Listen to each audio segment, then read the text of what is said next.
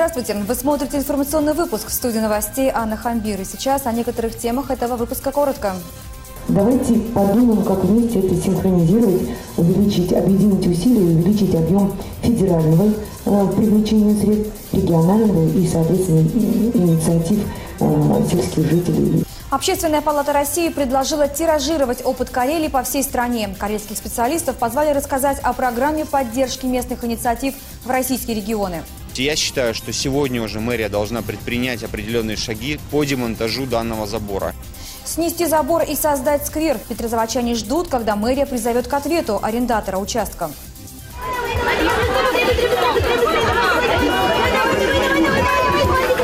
В этих соревнованиях приняли участие даже полугодовалые дети. Всероссийский олимпийский день набирает популярность в Карелии. А теперь во всем подробнее. Республиканскую программу поддержки местных инициатив высоко оценили в Общественной палате России. Сегодня в Карельскую столицу приехали участники выездных общественных слушаний Общественной палаты страны. Слушания проходят в рамках общероссийского проекта «Живи деревня, сохраняй Россию». Главное в этом обсуждении – поделиться лучшими практиками сохранения сельского наследия, возрождения деревень и сел. О том, как представили карельский опыт, расскажет Максим Смирнов. Республиканскую программу поддержки местных инициатив представил Комитет по взаимодействию с районами. Гостям рассказали, что уже в первый год своего существования программа получила высокую оценку жителей сел и деревень Карелии. Поэтому глава республики Александр Худиланин принял решение не только продолжить ее реализацию, но и увеличить финансирование со стороны бюджета республики. Если в 2014 году казна предоставила 8 миллионов рублей, то в 2015 уже 29 миллионов. Напомним, суть программы – это поддержка на конкурсной основе социально значимых проектов, предложенных предложенных самими жителями. При этом деньги на реализацию этих проектов выделяет бюджет республики 80%. Остальное дают бюджет поселения и собирают сами люди. В прошлом году таким образом было успешно реализовано 19 проектов. В поселениях тянули водопровод, строили детские и спортивные площадки, ремонтировали дома культуры. В этом году одобрено в два раза больше заявок, уже 41. Причем люди предлагают и оригинальные авторские проекты. Беломорское городское поселение, сактивизировав молодежную среду, приняли решение благоустроить набережную, где они размещают дерево любви, на котором 70 лепесточков ознаменуют 70-летие Победы. Представители Общественной палаты России одобрили опыт республики и предложили обобщить его и подумать, как можно откорректировать проект и включить его в федеральные ведомственные программы, чтобы оттуда привлекать дополнительное финансирование. В Министерстве сельского хозяйства есть программы по дорогам, по водопроводам, по клубам. Эти программы есть. Давайте подумаем, как вместе это синхронизировать, увеличить, объединить усилия, увеличить объем федерального э, привлечения средств, регионального и, соответственно, инициатив э, сельских жителей. Участники слушаний высоко оценили опыт республики и решили, что его стоит использовать повсеместно в России. Представитель Общественной палаты Российской Федерации уже пригласил на иные площадки а, обсуждения для того, чтобы мы смогли бы поделиться своим маленьким, но уже успешным опытом программы поддержки местных инициатив.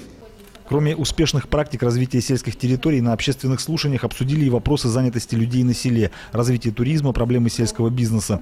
Все доклады в итоге войдут в один документ. Документ, который позволил бы нам обобщить не только опыт, выявить проблемы, которые существуют на селе, и внести предложения уже в правительство, в законы, в поправки для законов. То есть сделать вот такой конкретный практический шаг. Обобщенный документ с предложениями ото всех российских регионов будет представлен депутатам Госдумы и президенту страны. История земельного участка на перекрестке Невского Калинина в Петрозаводске пополняется новыми событиями. В пятницу на народном митинге горожане за 10 минут разобрали часть забора с помощью отверток и шуруповертов. Но спустя день забор вновь был на месте. Напомним, группа горожан добивается от мэрии расторгнуть договор с арендатором этого участка и создать здесь сквер. На прошлой неделе на депутатской комиссии в мэрии Петрозаводска было принято решение восстановить сквер на пересечении улицы Калинина и проспекта Невского. Предварительно депутаты договорились уже осенью поставить на сессии вопрос о выделении денег на благоустройство этой территории. Мэрия также пошла навстречу горожанам и приняла решение расторгнуть договор аренды на этот участок, о чем уведомила арендатора. Кроме того, оказалось, что немалая часть этого участка незаконно оказалась за забором. Это муниципальная земля, не входившая в договор аренды. Поэтому жители и разобрали забор. Но арендатор восстановил ограждение. С этим не согласны и горожане, и солидарные с ними представители общественности. Я считаю, что сегодня уже мэрия должна предпринять определенные шаги по демонтажу данного забора. Есть комитет по благоустройству, есть специальные службы мэрии, которые должны заставлять нерадивых арендаторов или нерадивых инвесторов э, решать вопрос в пользу горожан. В настоящее время арендатор подал в суд на участников митинга, считая незаконным снос забора. Слушание в мировом суде должно состояться на этой неделе. Также общественники считают, что арендатор, возможно, подаст в суд и на мэрию города, чтобы оспорить решение о расторжении договора аренды. Чтобы тяжба не затянулась и на этом месте действительно появился сквер вместо пустыря, горожане ждут от Петрозаводской мэрии решительных шагов. В эти выходные Петрозаводск отметил 312-й день рождения. Праздничные мероприятия прошли во всех микрорайонах города. Главной площадкой по традиции стала Онежская набережная. Несмотря на дождь, на праздник пришли тысячи жителей и гостей города. Вместе с ними весь день передвигалась по празднующему Петрозаводску и наша съемочная группа. Алиса Агранович рассказывает.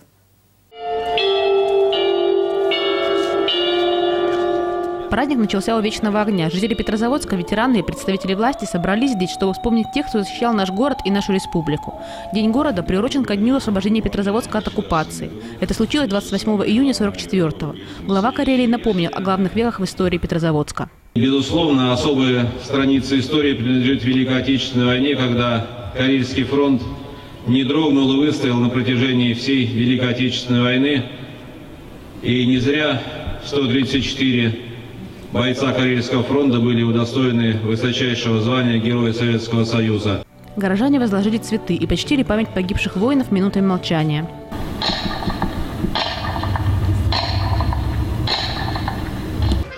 На набережной раскинулся город мастеров. Демонстрировали свое искусство рукодельницы города, приют для животных организовал фотосессии с собаками и живыми, и плюшевыми. Гостям праздника предлагали собственноручно отчеканить памятную монету с гербом Петрозаводска. Свои силы попробовал и глава региона. Чего делать? Один раз стукни, да? Один раз стукни. Сильно-сильно. Отвечать сколько? О!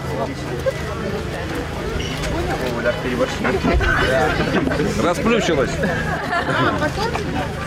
Монету Александр Худиланин подарил Галине Ширшиной. Кстати, в этот день глава республики вместе с горожанами прошелся по праздничному городу, пообщался с жителями и вместе с мэром еще раз поздравил Петрозаводск с праздником. После официального открытия праздника чествовали новых почетных граждан города. Ими стали руководитель общественной организации жителей блокадного Ленинграда Вера Ермакова и председатель общества бывших малолетних узников концлагерей Владимир Бродановский. Справа от сцены проходил фестиваль калиток. Садовые калитки расписывали художники города. Теперь на набережной есть новый арт-объект. А пять поваров, четыре женщины и мужчина соревновались за звание лучшего калиточника города. Жюри оценивало вид, вкус и соответствие оригинальной рецептуре. Испокон веков в Карелии все-таки была ржаная мука. Но если хозяйка хочет себе упростить работу, она добавляет побольше э, пшеничной муки. Но тогда это уже получается не ржаная калитка, а калитка в украинском хлебе. Сам председатель жюри тоже готовит калитки. Вот это творение его рук. Сейчас попробуем. Вкусно. Можно сказать, компетентно судействовать. Здесь же можно было увидеть уникальную выставку самоваров, подготовленную городским домом культуры. Все эти экспонаты достали из антресоли и привезли сдать жители республики. На самом деле откликнулись, принесли, собрали. Более 40 самоваров мы собрали. Сегодня здесь представлено самый старейший самовар 1850 года, представлен семьей Бояринцев. В следующем году Дом культуры планирует подготовить более масштабную выставку традиционной кухонной утвари. В квартале исторической застройки прошел традиционный праздник от музея Кижи «Иллюзии старого города». Всего на день здесь ожили картины Петрозаводска таким, каким он был сто лет назад. Сударь, барин, погоди, мимо нас не проходи, наши семечек купить, станет маленькой. Семечки, семечки, жареные. Много было развлечений для маленьких гостей праздника. Кстати, не только на иллюзиях старого города. Этот день города был посвящен теме детства в связи с пятилетием вхождения Петрозаводска в программу ЮНИСЕФ «Города, доброжелательные к детям». Праздничная программа продолжалась до самого вечера, несмотря на вновь начавшийся дождь. К сожалению, в этом году отменили праздничный фейерверк. Деньги в кризис надо экономить.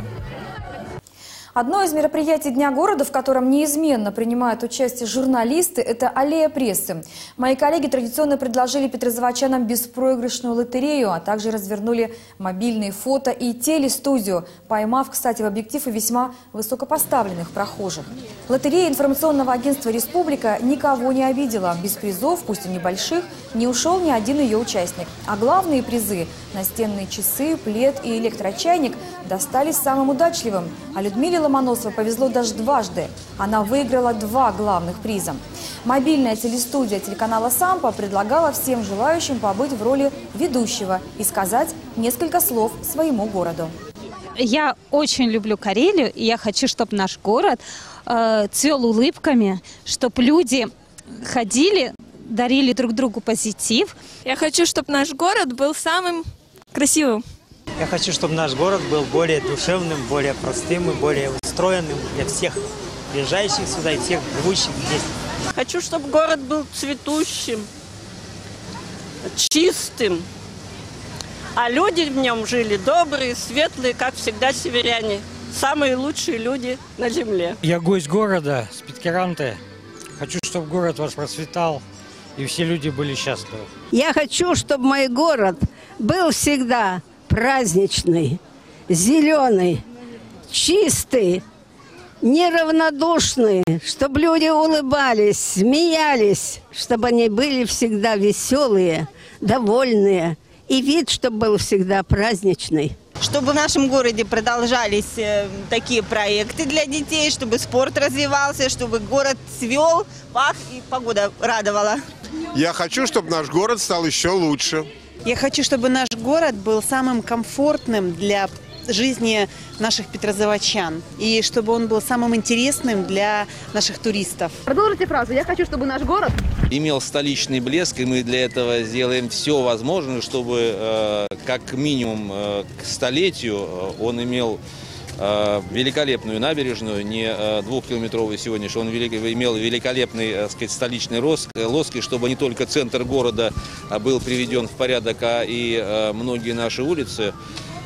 Карелия этого заслуживает, Петрозаводск этого заслуживает. В советские времена, в 70-е, 80-е годы он признавался самым чистым городом Советского Союза, поэтому мы с Галиной Игоревной сделаем все, чтобы это возродить, и чтобы в кратчайшие сроки мы вновь гордились и нашим Петрозаводском, и нашей Карелией. А теперь коротко о других событиях в республике. Глава Карелии принял участие в выездном совещании по реконструкции и развитию аэропортового комплекса «Бесовец» под Петрозаводском. Сегодня за счет федерального бюджета практически завершены работы по заливке бетоном рулежной дорожки, перрона и мест стоянки самолетов. Новым этапом развития аэропорта под Петрозаводском должно стать строительство современного здания аэровокзала. Александр Худиланин поставил задачу перед строителями активизировать работу, чтобы максимально эффективно использовать летние месяцы и теплую погоду для реконструкции. Специалисты Министерства природопользования и экологии Карелии провели совместный рейд с представителями МВД по выявлению фактов нарушения лесного законодательства. В ходе рейда они обнаружили незаконную рубку и самовольное использование лесного участка возле дач в Прянежском районе. Ущерб лесу оценивают в 1 миллион 200 тысяч рублей. Выявлением виновника занимаются правоохранительные органы. Столице Карелии обновляется система уличного освещения. За последний год были заменены 150 опор и светильников на улицах Милентьевой, Мурманской, Титова, Правды, Набережной Онежского озера. До конца года намечено реконструировать еще 543 опоры уличного освещения в центре и в районах города. Только на проспекте Ленина полностью заменят 83 светильника. Победителем танцевального шоу на Первом канале стал выпускник Карельского колледжа культуры и искусств. Александр Могилев родился в Кандалакше, учился в Карелии, Москве и Австрии. Сегодня он стал заслуженным балетмейстером и танцором с именем. Победа в шоу «Танцуй» принесла Александру двухмиллионный контракт, работу в петербургском шоу-театра «Ленинград-Центр». День города в Петрозаводске в этом году совпал с Днем молодежи. Праздничные мероприятия прошли по всем районам Карелии. А в карельской столице в этот день состоялся первый этап ежегодного молодежного фестиваля граффити «Полоса отвода». В нем приняли участие 11 молодых художников-любителей. Им дали три темы – «Мой любимый Петрозаводск», «Современное искусство» и «Город против войны». Последние две темы пользовались особой популярностью. Я рисую свои комиксы на тему, которую нам задали организаторы. «Стены против войны» или «Город против войны». Вообще у меня очень грустный, печальный персонаж, и многие считают его злым, но на самом деле э, я хочу показать, что даже такие страшные с виду образы могут быть э, прикольными, красивыми, нести мирное Это площадка для любителей. Они работают на листах бумаги. После фестиваля их работы украсят молодежную базу «Моткачи». Фестиваль э, проводится для того, чтобы, во-первых, предоставить возможность э, художникам э, самовыразиться и для того, чтобы все-таки обращали внимание, что граффити это не только хулиганство, но и искусство.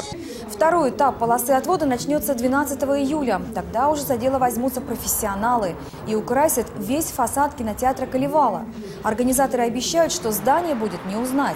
Оно и сейчас уже сильно изменилось. Последнюю неделю над оформлением фасада работал пермский художник Александр Жунев, заработавший известность после того, как нарисовал распятого Гагарина. На кинотеатре «Колевала» он решил нарисовать сцену из одноименного эпоса. Илмаринин кует мельницу Сампа. Рисунок наносят на поперечные панели вдоль всего фасада кинотеатра. И видно его не отовсюду. Если смотреть на, на панели в упор, то будут видны лишь элементы яркой цветной мозаики. Но если отойти подальше, открывается весь сюжет. И на эту же субботу выпала еще одна дата – Всероссийский Олимпийский день. Его отмечают по всей России в честь блестящего выступления нашей сборной на играх в Сочи. В Петрозаводске в этот день прошла уже вторая Олимпиада для детей «Маленький чемпион». Участие в ней приняли даже полугодовалые дети.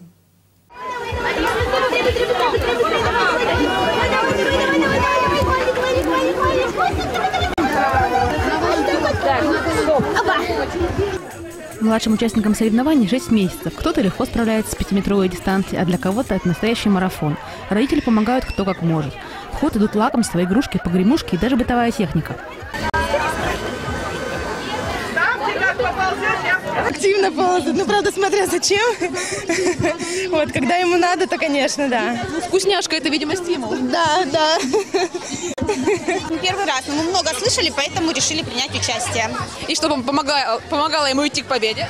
Ну вот, как видите, игрушки, э, активная помощь бабушки, э, группы поддержки, наверное, ну и техника, фотоаппарат. Фотоаппарат любимая игрушка? Ну, по всей видимости, наверное, у всех у малышей. Да, и микрофон тоже, скажи, не, не последний, да, увлечение. Несмотря на накрапывающий с самого утра дождик, праздник собрал около 400 участников. Дождь не испугал ни маленьких спортсменов, ни их родителей. А организаторы позаботились о том, чтобы малыши не промокли. Чемпионат по ползанию проходил под навесами. Для детей постарше сделали полосу препятствий. Были и командные игры для всей семьи. Поздравили юных спортсменов с Всероссийским Олимпийским днем и пожелали им спортивных побед и высокие гости соревнований. Я, безусловно, искренне уверена, что сегодняшний день даст путь еще многим вашим чемпионам, которые станут славой вашего города, вашей республики и нашей страны. С праздником! То развитие, та динамика, которая последний год присутствует в получении новых спортивных объектов, в высоких достижениях наших спортсменов, говорит, что у нас с вами появятся и новые Терентьевы, и новые Лазутины, и новые Медведевы. После Олимпиады состоялся парад колясок. Он завершился на набережной Онежского озера. Такими были выходные понедельник в Карелии. Я с вами прощаюсь. Всего доброго.